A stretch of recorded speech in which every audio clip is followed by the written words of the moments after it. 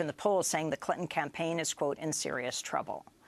Tuesday marked six years since a 7.0 magnitude earthquake devastated Haiti, killing an estimated 300,000 people.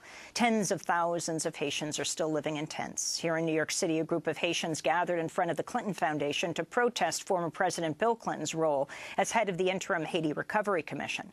Activist Dahoud Andre was among them.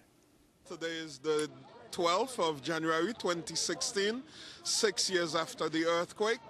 And for us, it was important to be in front of the Clinton Foundation because Bill Clinton, as head of the IHRC, Interim Haiti Recovery Commission, was responsible for the $6 billion that came into his hands.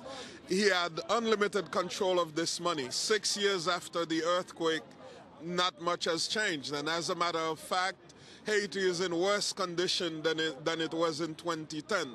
Only Bill Clinton can tell the world what happened with this money.